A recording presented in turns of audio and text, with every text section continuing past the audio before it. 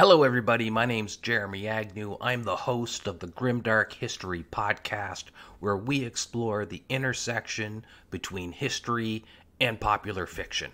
Right now, we're in the middle of a multi part series on somebody who has been in a lot of popular fiction, and that is Alexander the Great. If this is your first time tuning in, you might want to go back and listen to the first episode in our series episode one in our series, we covered the background and history of Greece and Persia leading up to the assassination of Philip. That's Alexander's father. In episode two of the series, we explored something tangential to the history of Alexander the Great, but no less important to him, and that is the religious experience of participating in what a Greek sacrifice would have looked and felt and sounded like. In episode three of our series, we explored the initial phases of Alexander's invasion of Persia. We explored his consolidation of power after the assassination of Philip, putting down the Thracian revolt, putting down the Greek revolt, the destruction and, and enslavement of the city of Thebes, his initial invasion covering Anatolia, the siege of Tyre, the surrender of Jerusalem. In this episode, we are going to be covering Alexander's conquest of Egypt, Babylon, exploring his time and place there, exploring slavery in Alexander's army, Alexander's own perception of slavery. We'll explore the Persian Empire. We'll explore the destruction of Persepolis, the Persian government and recent palace coups that happened, and we'll be exploring Alexander's conquest of Persia right up to the death of Bessus. So keep listening thank you very much. This I know this is a very long series. I'm trying my best to try and keep this down to around the hour mark, and I think this episode um, makes that. So if this is something that you like, if the episode length is something that you like, please feel free to reach out on me. I'm on uh, Twitter at Grimdark History. You can find me on Instagram at Grimdark Pod. I'm also on YouTube. That's YouTube slash at Grimdark History. So please feel free to reach out to me on any of those channels. And if you're an email person, you can also just email me by emailing grimdarkhistory at gmail.com. And uh, enjoy the show. And thank you very much for listening.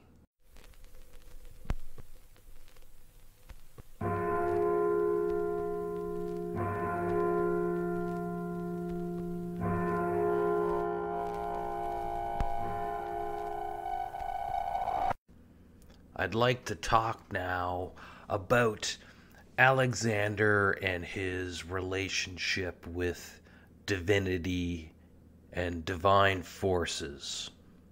I've teased it a little bit, little tidbits here and there over the last several episodes. We talked about Alexander's mother, Olympias, and her dream of being impregnated by Zeus, or at least visited by Zeus, prior to her consummating her marriage with Philip. That might hang a question mark over Alexander's true father. I talked a little bit about the religious experience in uh, the second episode, and, and I've touched a little bit about this in the third episode, but I haven't really dug into it. It's been in the background, little tidbits here and there. I think it's time now to start digging in to Alexander and his relationship with religion and the various gods in the world. After Alexander uh, finishes off, pardon me, after Alexander finishes off the city of Tyre, and he's uh, accepted the surrender of Jerusalem. I didn't mention he's already fought another major battle against the Persian army. He's actually defeated the king of Persia in battle. This is called the Battle of Issus, if you want to look that up. Alexander happens to come across the Persian army as they're hunting each other, and they're in favorable grounds for Alexander's army to attack an army that's much bigger than him, and he attacks and he wins, no surprise. But after he's defeated the Persian king at Issus, he has control over basically all of Mesopotamia and the Levant. He's got access to the Persian treasury. He's at now most more wealth than he has ever seen in his entire life, and more wealth than probably any Greek with him has ever seen as well. Now, he'd like to keep hunting down the Persian king. He hasn't yet caught him yet. So there's still up in the air the question of who's the definitive king. You know, there's the du jour king and the de facto king. Mesopotamia, the Levant, Syria, Anatolia, all of these places recognize Andrew, or pardon me, Alexander as king. But he's not officially king. He's not recognized king by the Persians yet. So there's still that hanging in Alexander's mind. But he's still dealing with the Persian navy pestering the Greek colonies in the background, and he's got to finish mopping up all the uh, Persian port cities. So as Alexander marches down to the Levant, closing off the port cities, accepting surrenders, sieging towns and cities, he moves into Egypt, which is the breadbasket and one of the most wealthiest lands in the Persian Empire. This is where Alexander builds the city of Alexandria. He builds the lighthouse at Alexandria, the what's called the Pharos. But while he's there, he decides to visit the Siwa Oasis. Now, the Siwa Oasis is not easy to get to. There is an oracle there called the Oracle to Zeus Ammon. You have to cross the desert to get to it. Um, and uh, crossing the desert's not easy when you're a one man or you know a small uh, band with a guide with you. But Alexander takes a significant chunk of his army with him. And uh, in in the few hundred years in the past, when the Persians were trying to invade Egypt, they hadn't yet conquered Egypt. The Persian king Cambyses lost uh, about 20,000 soldiers, give or take. So the stories go, you know, people exaggerate numbers. But he lost about 20,000 soldiers trying to cross the desert to get to Siwa. So Alexander is lucky when he crosses the desert. Um, it happens to coincide with the right time of year that there's been some rains so the winds aren't blowing sand dunes around. The water or the rains have kind of dampened down the ground, made it easier for armies to pass. Supposedly, some ravens guide his army so that nobody gets lost going through the desert. But as he gets to the Siwa oasis and to the temple of Zeus Ammon, Alexander uh, and his generals meet the oracle and the oracle has this to say quote, Having passed through the wilderness, they came to the place where the high priest, at the first salutation, bade Alexander welcome from his father, Ammon. And being asked by him whether any of his father's murderers had escaped punishment, he charged him to speak with more respect, since his was not a mortal father. Then Alexander, changing his expression, desired to know of him if any of those who murdered Philip were yet unpunished. And further concerning dominion, whether the empire of the world was reserved for him. This the god answered, he should obtain, and that Philip's death was folly revenged, which gave him so much satisfaction that he made splendid offerings to Jupiter, and gave the priests very rich presents. This is what most authors write concerning the oracles. But Alexander, in a letter to his mother, tells her that there were some secret answers, which at only his return he would communicate to her only. Others say that the priest, desirous as a piece of courtesy to address him in Greek, said O Paidion by a slip in pronunciation ended with the S instead of the N and said O Paidios, which mistake Alexander was well enough pleased with and it went for current that the oracle had called him so. Just to dissect what it was I just read to you there, this was from The Life of Alexander the Great by Plutarch. And what Plutarch is telling us is that when Alexander visited the uh, oracle at Zeus Ammon, the oracle greeted him as O child of God. That is what Opedios means. O child of God or O child of Zeus would be the way it would have been interpreted by the Greeks then. And O Opedios means child, O child of Zeus. O Opedion, which is what they maybe think he was trying to say. O Opedion is Greek for O my son. So you can see there's a situation here that might be uh, an Egyptian priest not fully familiar with the Greek language and desiring to impress Alexander or at least ingratiate himself to him by showing that he can speak the language of the new king of Egypt, tries to address Alexander in Greek and instead of saying, O Paidion, O my son, you know, welcome to the temple, he says, O O child of Zeus, welcome to my temple.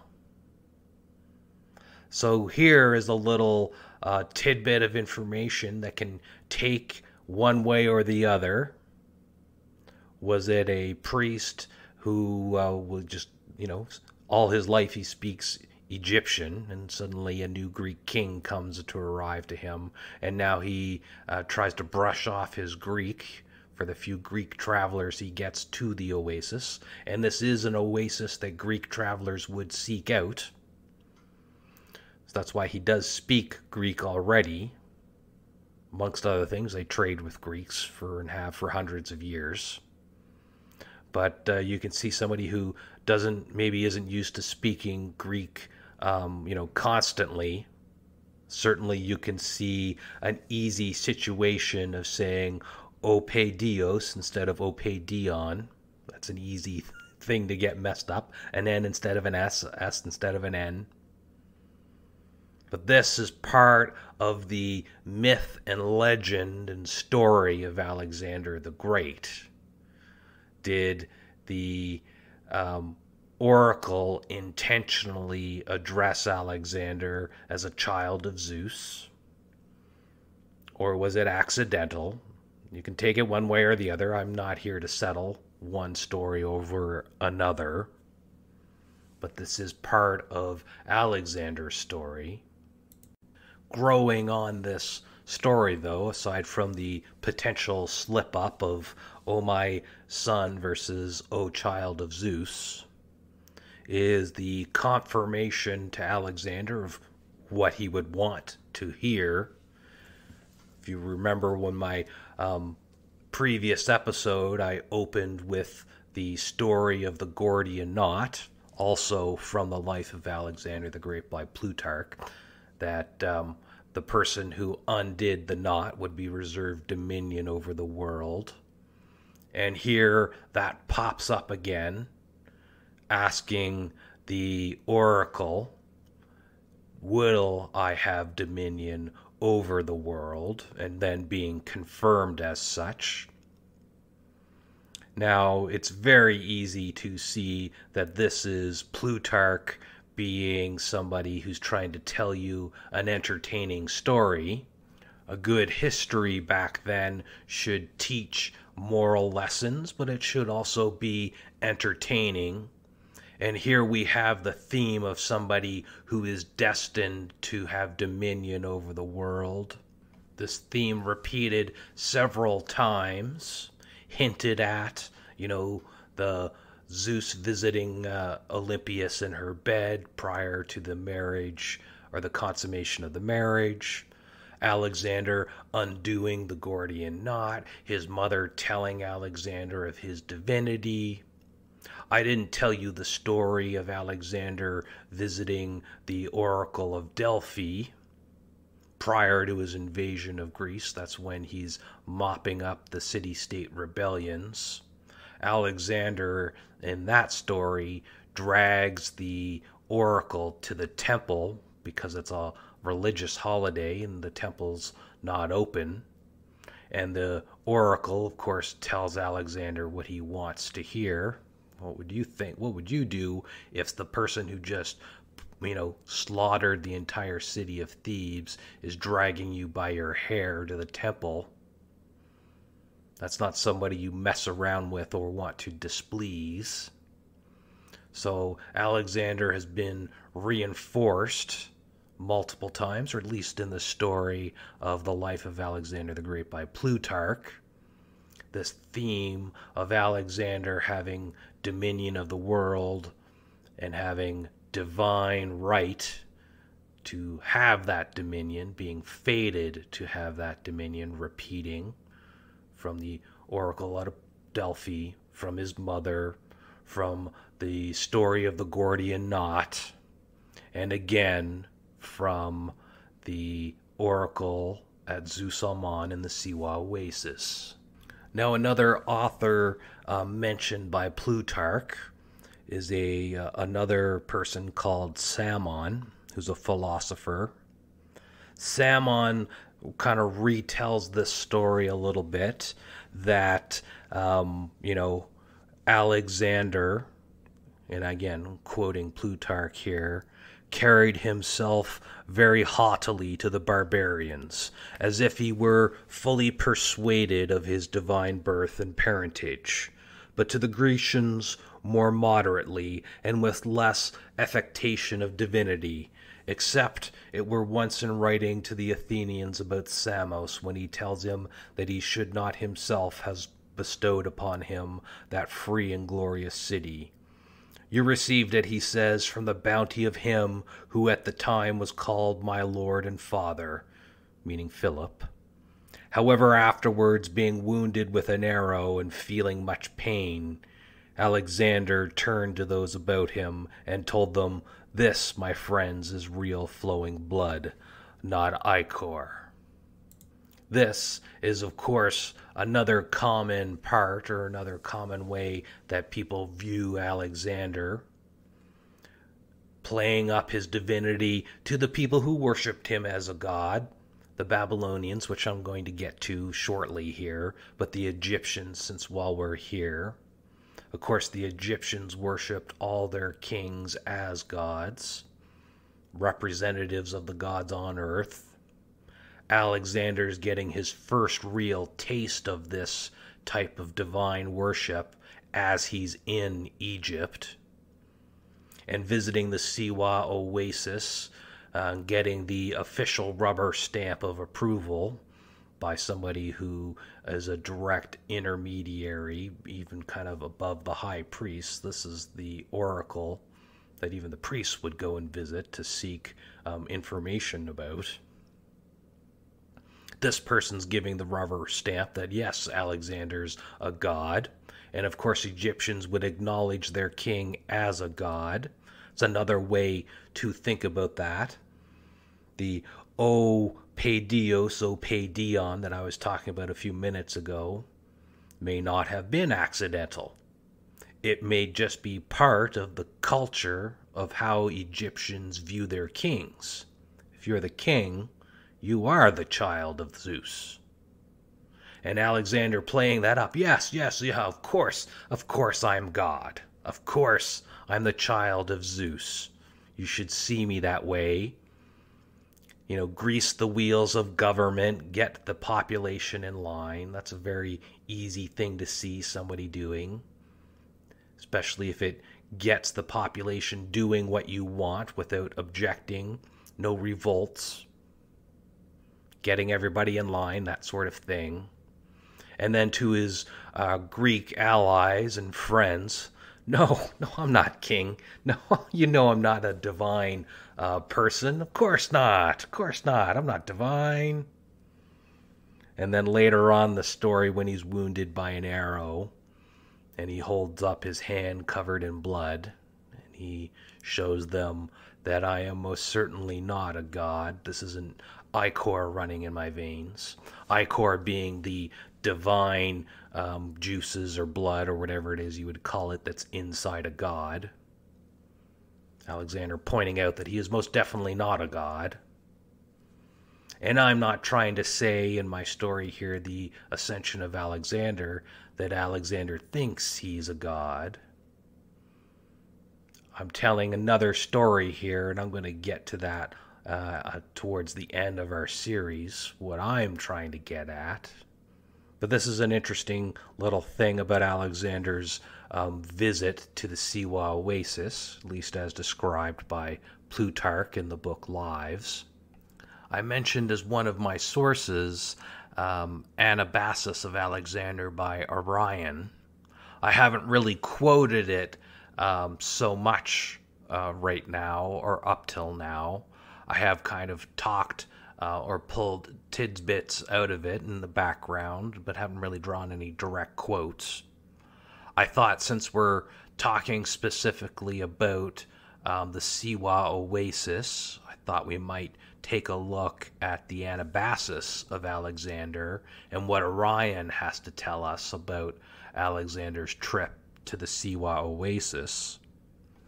Arrian tells us that the quoting Arrian now, the priests of Ammon convey quantities of it into Egypt. For wherever they set out for Egypt, they put into little boxes plated out of palm and carry it as a present to the king or some other great man. The grains of this salt are large, some of them being even longer than three fingers' breadth, and it is clear like crystal.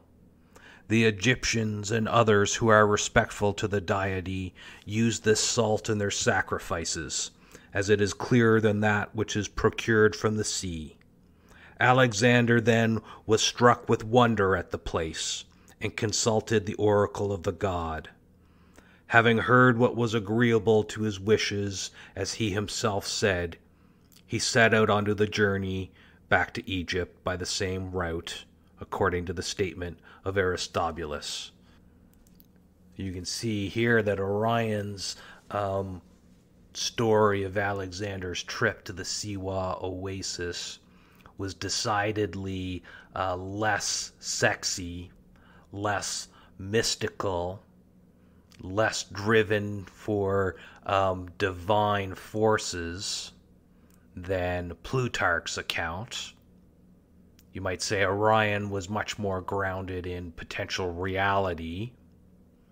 Arrian is telling us that Alexander the Great visits Siwa because there is a salt mine there that has salt crystals so pure that they're clear like glass, and that the crystals have grown so big that they're basically about four inches thick and still perfectly clear as glass the priests at the temple control this mine.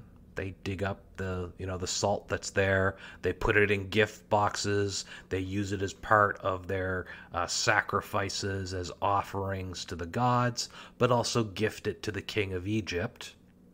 And you can see Alexander as he conquered Egypt and moves in, and probably receives from a emissary from the Siwa Oasis a box containing these salt crystals, which would probably look like magic to him. And Alexander, being fascinated by all things new and interesting, would want to make a trip to the Siwa Oasis to see this salt mine for himself. And while he's there, he visits the oracle, but you can see the uh, statement or story of what was said there at the oracle was decidedly uh, drawl and gray. Arrian, as I mentioned earlier, you know, when I was talking about my sources, is generally considered a very solid and realistic account of Alexander's story. I mentioned one of my sources as being seen as sketchy. If you aren't sure about who that is, it's Plutarch and the book Lives. That's the one I have been quoting from because I'm trying to tell a little bit of an interesting story of color here. And again, I know the story's sketchy, and this is, um, I know we're telling the story of Alexander the Great, but I've picked lives specifically for a very specific reason, and I promise you I will get to the reason why I'm quoting so heavily from lives instead of other books that are generally considered more grounded in reality and probably more accurate to the life of Alexander the Great. But I did want to pop in what what what did Arrian tell us about Alexander's trip to the Siwa Oasis before we move on?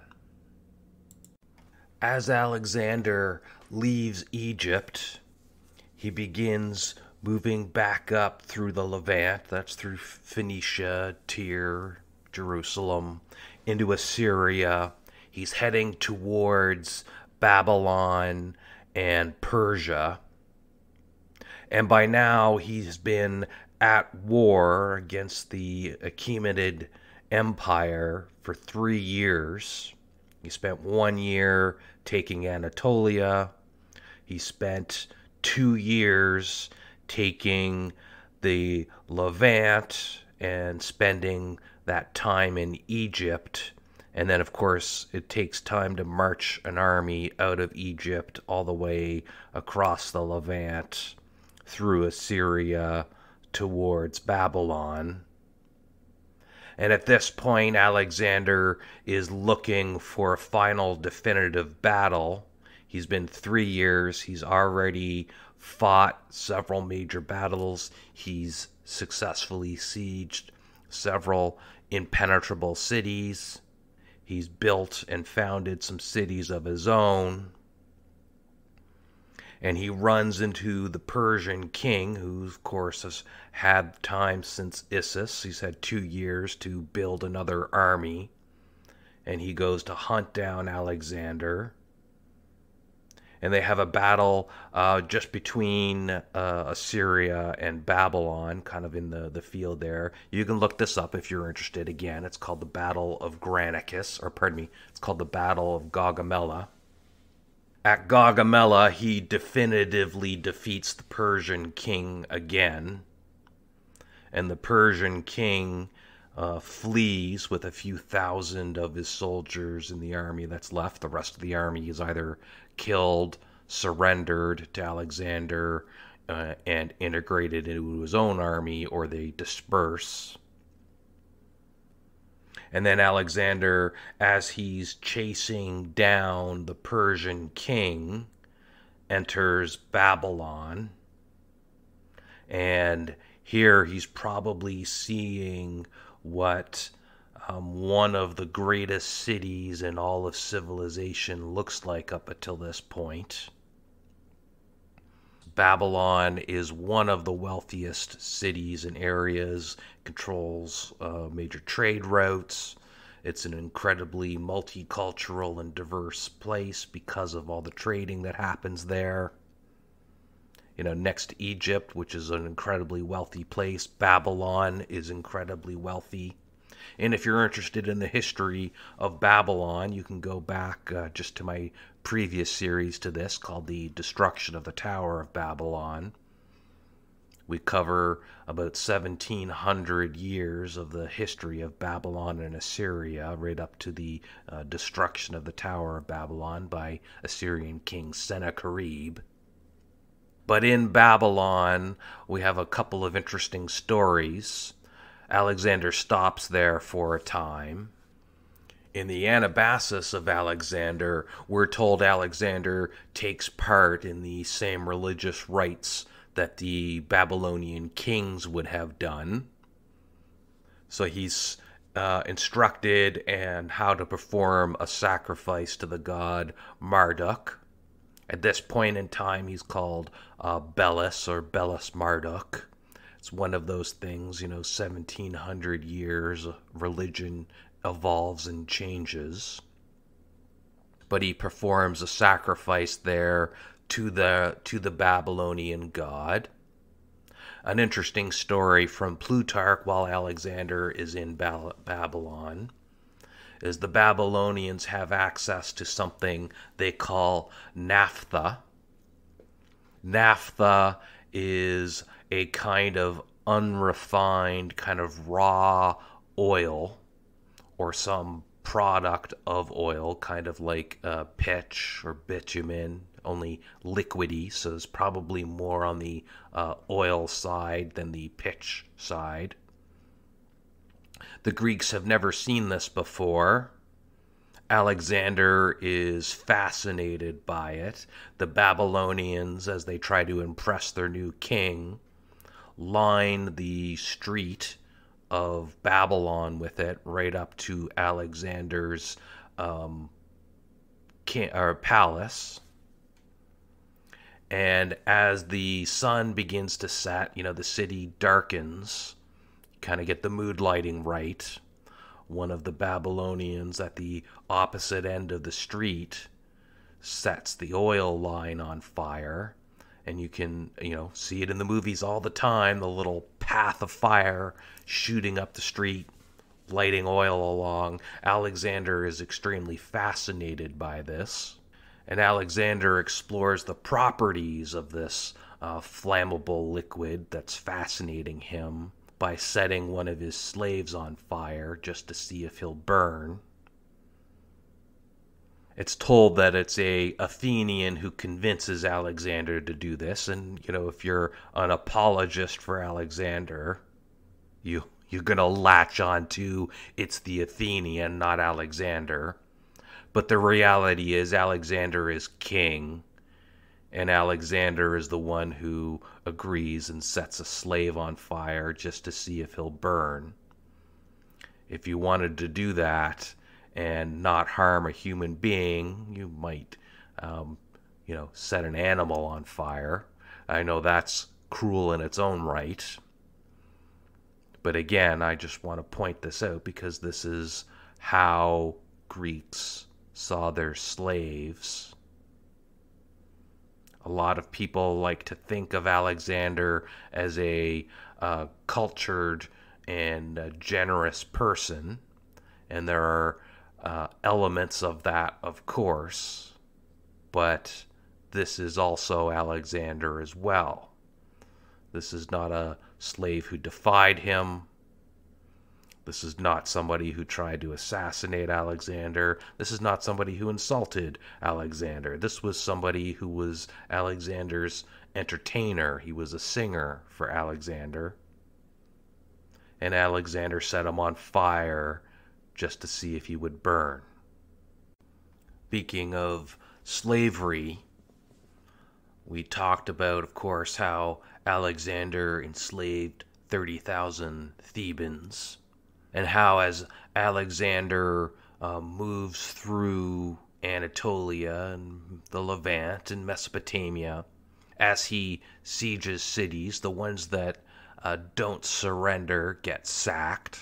We talked about what a sacking means. Of course, a lot of people get tortured, murdered, raped. The city's pillaged. They take slaves. Cities that surrender uh, probably still had to provide some form of tribute in the form of slaves and as well as other taxes. Just wouldn't have been the entire population. And we talked a little bit about, you know, Alexander setting his own slave on fire who was there to entertain him. Plutarch tells us that Alexander cared quite a bit about the state of slavery in Plutarch's example, he's trying to portray Alexander as having great care for his um, generals. But there's another thing to read about when we talk about these letters, and I'm just going to read them to you. Quoting Plutarch here, he gave order to search for a youth that belonged to Seleucus, who had run away into Cilicia and in another thanked Peucestas for apprehending Nikon, who was a servant of Craterus, and in one to Megabyzus concerning a slave that had taken sanctuary in a temple.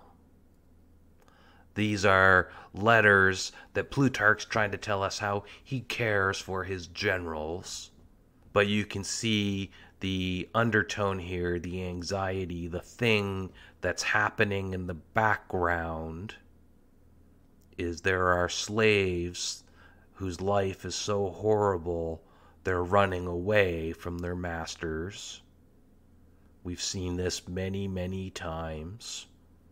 Romans, much like the um, U.S. South during the slavery era, had laws against runaway slaves, against people helping runaway slaves there were people whose entire jobs and careers concerned uh, policing, capturing, and breaking slaves.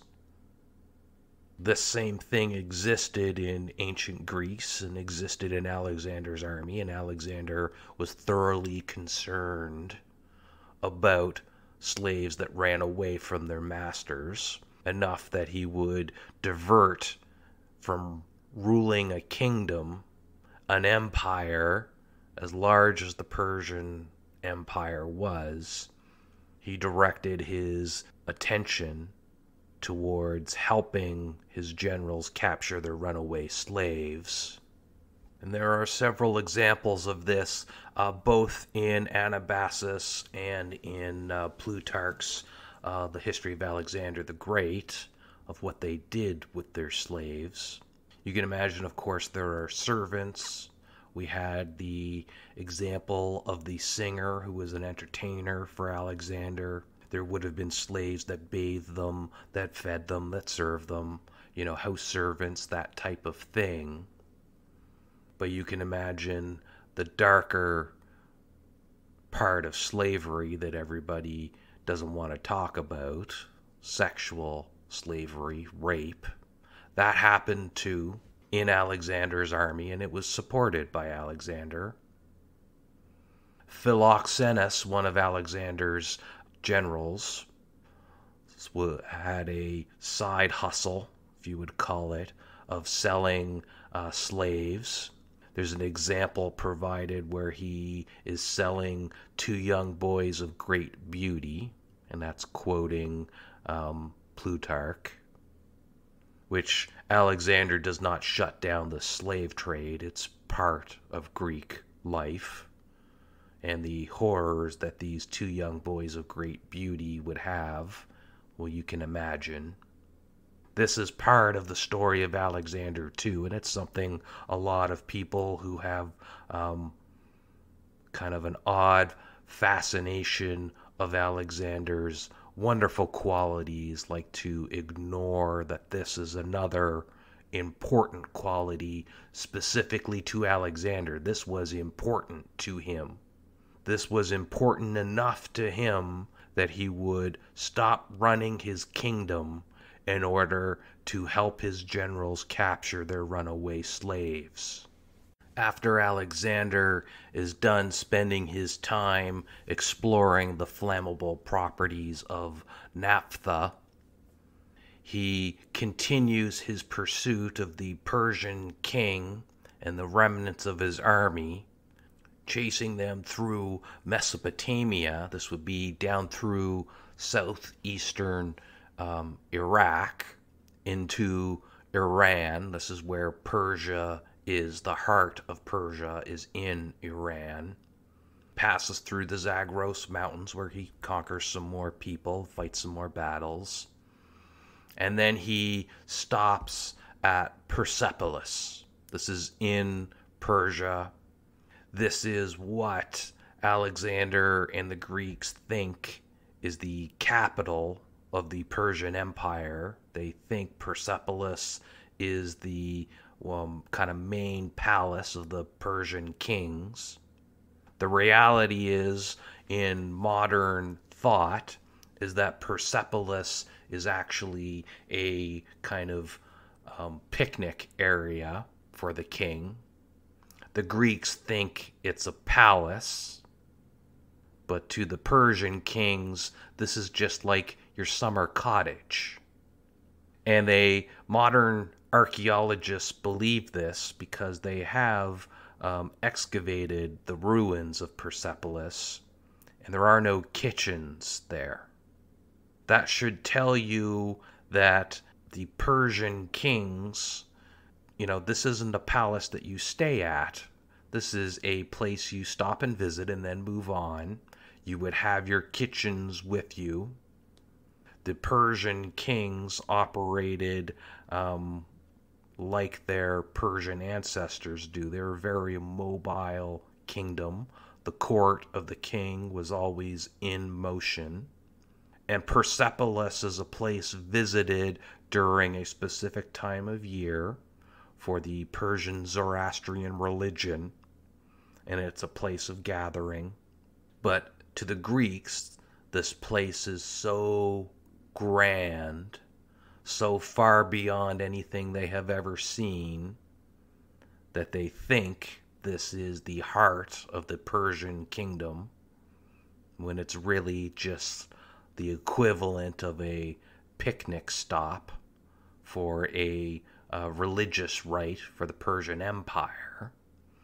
And Alexander burns the thing down to the ground for no particular reason.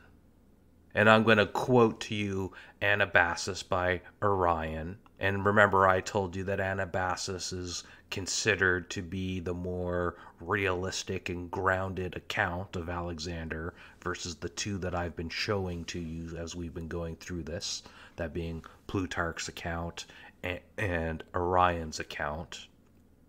And quoting Arrian and the Anabasis of Alexander, he burnt down the Persian palace, though Parmenio advised him to preserve it for many reasons, and especially because it was not well to destroy that which was now his property, and because the men of Asia would not by this course of action be induced to come over to him, thinking that he himself had decided not to retain the rule of Asia, but only to conquer it and depart.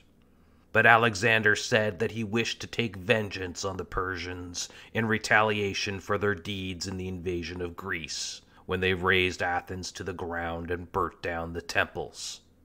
He also desired to punish the Persians for all the other injuries they had done the Greeks, but Alexander does not seem to me to have acted on this occasion with prudence.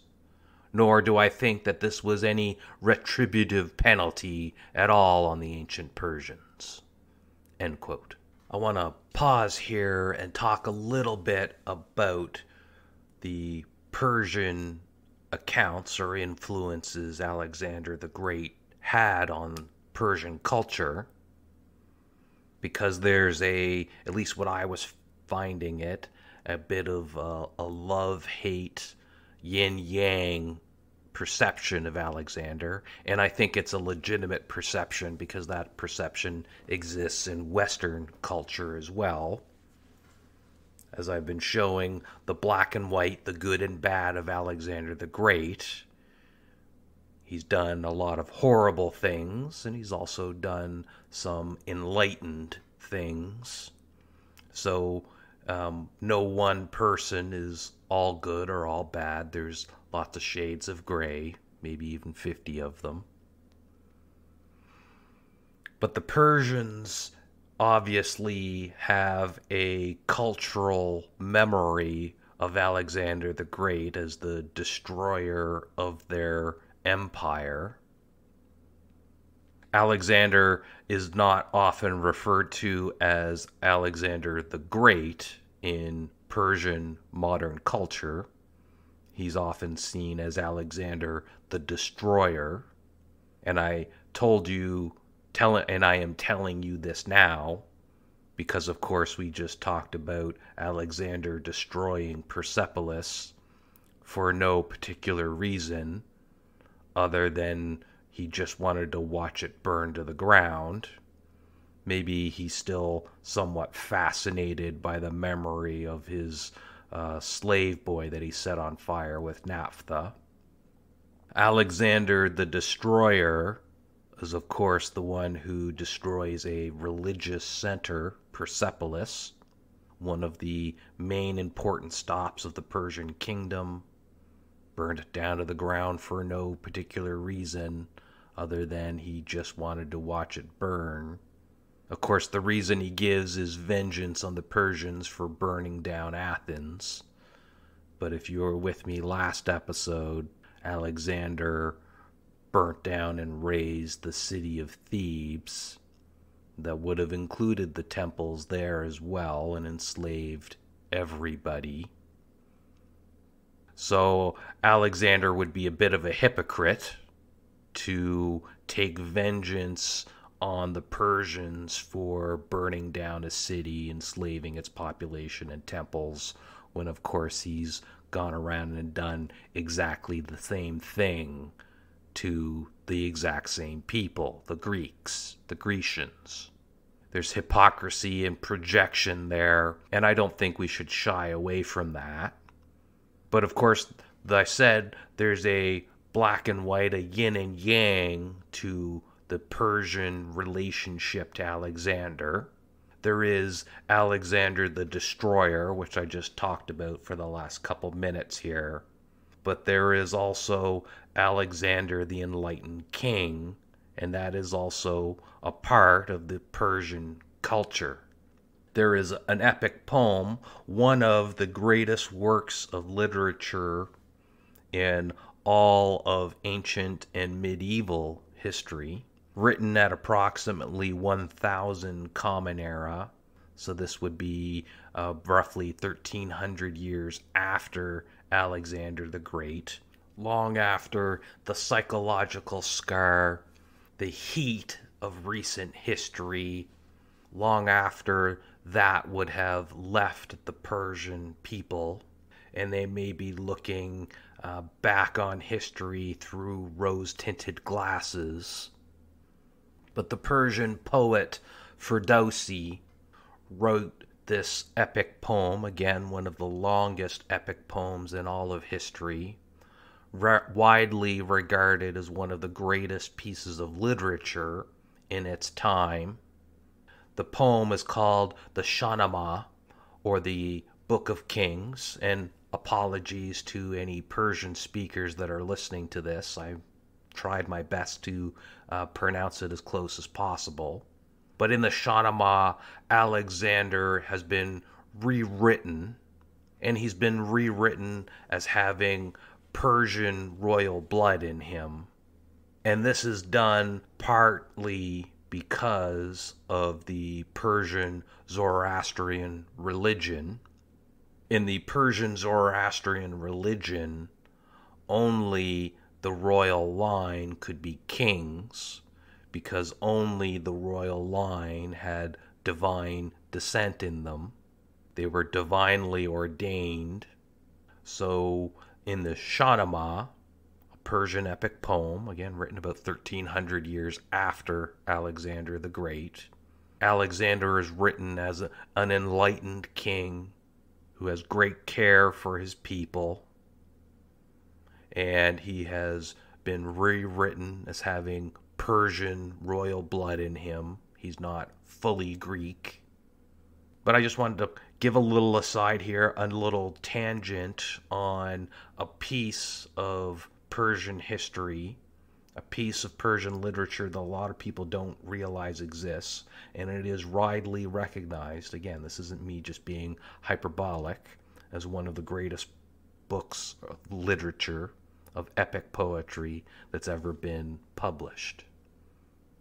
I've been talking about Persia, how Persians thought of their kings, what was required to be acknowledged as a king by Persians, about their religion, about Persepolis, Alexander the Destroyer. I've been talking about that because we're going to spend the last few minutes in this episode talking about Persian kings, about the government of Persia leading up into the few years before Alexander started his invasion. Alexander invaded Anatolia in 334 before Common Era, four years before Alexander invades if you were with me in my last episode, I told you there were a couple of coups in the royal palace. Well, four years before Alexander invades, the first such coup takes place. The king of Persia at that time is a king by the name of Artaxerxes III. He was murdered by one of the court eunuchs, a man by the name of Bagoas, and that name's going to come up again later. It's going to be a different Bagoas. I'll tell you when that comes up. But Bagoas is a eunuch, but of course, Bagoas, as I just told you a while ago, he is not of royal blood. So he's not divinely ordained, so there is no way in hell anybody would accept the rule of Bagoas. But Artaxerxes has some children. Bagoas kills most of Artaxerxes' um, children leaving just the two youngest sons alive. Arses, who's the oldest of the last two children, he's put on the throne as a puppet king, but Arses tries to kill Bagoas, because, of course, what would you do if somebody killed your whole family and then said, Do what I say, or I'm going to kill you too? Well, Arses tries to kill Bagoas, the man who murdered his family, and he fails, and Bagoas kills Arses. So that's two regicides in just a couple of years. You can imagine the chaos that would be in the government. And Bagoas has a problem now because, um, well, he can't really put the youngest kid in charge. Well, the other one just tried to kill him. So Bagoas uses his control and influence and finds somebody else who's of royal blood, who would be acknowledged as legitimate, but who's weak enough that Bagoas believes he can control as another puppet king. And that is a man by the name of who becomes, he renames himself as Darius. This would be Darius Third. Darius Third comes to be king of all the Persian Empire. And the first thing Darius does is he manages to kill Bagoas and he gets full control over the Persian government. But this would be only about two years before Alexander begins his invasion of the Persian Achaemenid Empire. So, Alexander, by the time Alexander does begin his invasion, Persian Empire has had effectively three palace coups two by Bagoas and one by Darius III, who is the king of Persia as Alexander begins his invasion. He's defeated twice by Alexander. Darius III is the head of the Persian armies at Issus and Gaugamela and this is the Persian king that Alexander has been chasing through southern Mesopotamia, through Persia. And as Darius runs for his life, Darius's kind of lieutenants try to take over the throne from him. They see Darius as too weak to lead. And so one of Darius's lieutenants tries to seize the throne from him, yet another palace coup. This is a Persian by the name of Bessus. Bessus kills Darius III and leaves him in the trail, and Alexander will uh, come up to him. He gets the body of Darius and he sends it back to be buried as a king in the Persian manner. Bessus creates I guess you would call it a remnant Persian Empire. The areas that Bessus controls would be roughly equivalent to northeastern Iran, Afghanistan, Pakistan, parts of Uzbekistan and Turkmenistan, and parts of India. He tries to create a kind of break off Persian Empire and fight off Alexander the Great. This would be effectively a Persian resistance army. But Alexander's pursuit is so fast, so hot on the heels, he does not give time for Bessus to consolidate any real control over these parts of the Persian Empire. And because Bessus himself is not of the Persian royal line, he has a lot of difficulty getting any sort of people to uh, line up around him. They see Alexander's army, who's already destroyed several Persian armies. The king, the legitimate king, is dead. And as Alexander is chasing down now Bessus, he actually runs into the legitimate heir to the Persian kingdom. This would be the youngest child of Artaxerxes III. This is a, a man, a young man by the name of Bistanes. He finds him while he's pursuing Darius in northern Iran, northern Persia. But despite Bessus's attempts to maintain some Persian resistance, the speed of Alexander's pursuit prevents any kind of fourth army from rallying around him. The lack of royal blood is Bessus's problem. The speed of Alexander's pursuit is Bessus's problem. And because he can't get any time to form an army, forge political alliances, consolidate control over remnant Persian people, instead the Persian Empire fractures and all these people who were part of the Persian Empire either declare independence or submit to Alexander as he charges his army through. As Bessus's revolt, or not revolt, I guess resistance would be the better term, as the Persian resistance under Bessus falls apart or fails to manifest, Alexander finds himself under not only de jure but also de facto control of the Persian Achaemenid Empire. Now, as I just said a moment ago, the empire fractures under Bessus. There's still huge chunks of the territory that have broken away, declared independence, and Alexander now has control of the wealthiest areas of land. He's controlled more land than any Greek king before him has ever done. The land that he does control is a lesser kingdom than even it was under Darius III, and certainly it's a lesser kingdom than it was under Cyrus the Great. But Alexander is now king of a fully conquered Persia.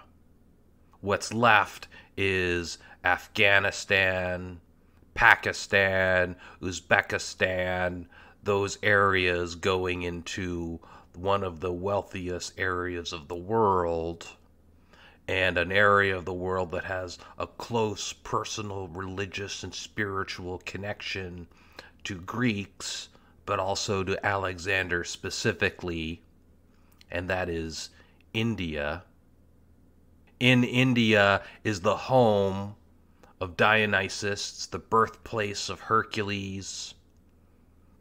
It was the place where Dionysus conquered huge chunks of land. It's the place where Dionysus earned his godhood. It's a place of wealth, a place of mystery, a place of divinity, it's the source of demigods, and it's right on Alexander's doorstep, and it's what we will be looking at in our next episode. This has been the Grimdark History Podcast. Thank you very much for listening. I hope you enjoyed the show.